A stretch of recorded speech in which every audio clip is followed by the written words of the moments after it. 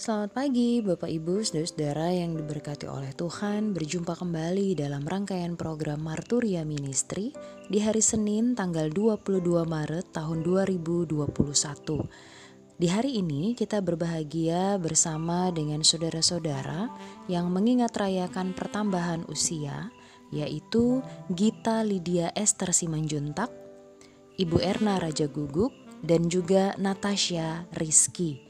Kami mengucapkan selamat ulang tahun, kiranya Tuhan Yesus senantiasa memberkati. Demikian juga bagi Bapak Ibu Saudara yang mengingat rayakan hari ulang tahun perkawinan, yaitu bagi Bapak Yosias Julius Iemis Walang dan Ibu Salminah. Kiranya Tuhan Yesus senantiasa memberkati perjalanan rumah tangga Bapak Ibu sekalian. Mengawali hari baru yang Tuhan anugerahkan, kita bersama-sama akan membaca dan merenungkan firman Tuhan. Sebelumnya, Bapak Ibu Saudara, marilah kita berdoa. Terima kasih Tuhan Yesus untuk kebaikan-Mu dalam hidup kami ketika Tuhan perkenankan kami untuk menapaki hari yang baru. Mengawali segala aktivitas dan rencana kami di sepanjang hari ini, ada sabda kebenaran firman Tuhan yang akan kami baca dan renungkan bersama-sama. Tolonglah kami dengan hikmat-Mu ya Tuhan, supaya pada akhirnya kami dimampukan untuk menjadi pelaku sabda kebenaran firman Tuhan. Dalam nama Tuhan Yesus kami berdoa. Amin. Bacaan firman Tuhan pada saat ini terdapat dalam Injil Matius pasalnya yang ke-20 ayat 20 sampai dengan 28. Firman Tuhan berkata, maka datanglah ibu anak-anak Zebedius serta anak-anaknya itu kepada Yesus, lalu sujud di hadapannya untuk meminta sesuatu kepadanya. Kata Yesus, "Apa yang kau kehendaki?" Jawabnya, "Berilah perintah supaya kedua anakku ini boleh duduk kelak di dalam kerajaanmu, yang seorang di sebelah kananmu dan yang seorang lagi di sebelah kirimu." Tetapi Yesus menjawab, katanya, kamu tidak tahu apa yang kamu minta. Dapatkah kamu meminum cawan yang harus kuminum? Kata mereka kepadanya, kami dapat. Yesus berkata kepada mereka, cawanku memang akan kamu minum. Tetapi hal duduk di sebelah kananku atau di sebelah kiriku, aku tidak berhak memberikannya. Itu akan diberikan kepada orang-orang bagi siapa Bapakku telah menyediakannya. Mendengar itu, marahlah ke sepuluh murid yang lain kepada dua saudara itu. Tetapi Yesus memanggil mereka lalu berkata, Kamu tahu bahwa pemerintah-pemerintah bangsa-bangsa memerintah rakyatnya dengan tangan besi, dan pembesar-pembesar menjalankan kuasanya dengan keras atas mereka. Tidaklah demikian di antara kamu.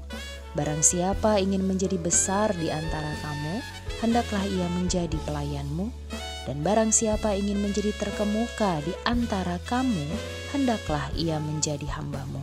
Sama seperti anak manusia datang bukan untuk dilayani, melainkan untuk melayani dan untuk memberikan nyawanya menjadi tebusan bagi banyak orang. Demikianlah firman Tuhan.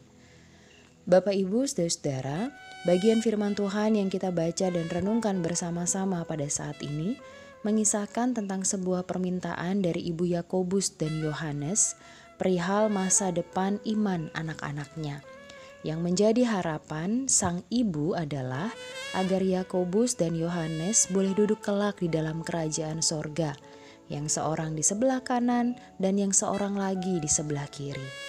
Permintaan ini ditanggapi oleh Yesus melalui tiga pernyataan bahwa yang pertama, Perlu ditegaskan bahwa orang yang masuk ke dalam kerajaan sorga bukanlah untuk memerintah, melainkan untuk melayani sebagai seorang hamba.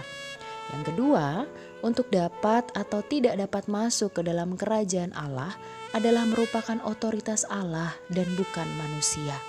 Dan yang ketiga, siapa yang ingin menjadi besar, hendaklah ia menjadi pelayan dan bukan tuan. Sehingga lewat firman Tuhan ini kita dapat melihat bersama bahwa panggilan untuk mengikut Tuhan adalah panggilan untuk melayani dan bukan untuk memerintah. Bapak Ibu, Saudara-saudara, sebagai orang percaya masa kini, kita pun pasti memiliki keinginan untuk dapat masuk ke dalam kerajaan sorga.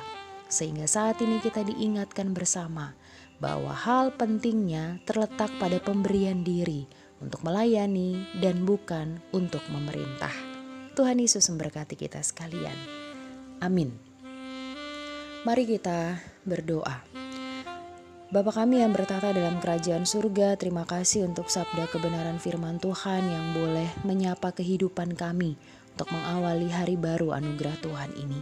Kiranya Tuhan yang menolong dan memberkati, bahkan memampukan kami, sehingga dalam setiap derap langkah kehidupan ini, kami boleh memberi diri untuk semakin melayani sebagai seorang hamba dan bukan hanya untuk memerintah sebagai seorang tuan.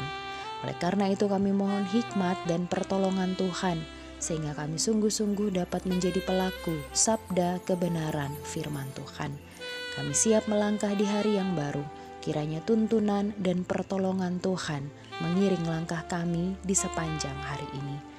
Dalam nama Tuhan Yesus kami berdoa dan mengucap syukur. Amin.